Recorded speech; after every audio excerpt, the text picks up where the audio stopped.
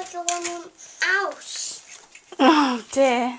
Got my head on here again. I know, it's quite annoying that, isn't it? Mummy, I'm going to build a tower like that on the front. Okay, good idea. Is Esme going to help you? No. Esme, can you say cheese? Esme? Esme? So that is Hannon's bedroom.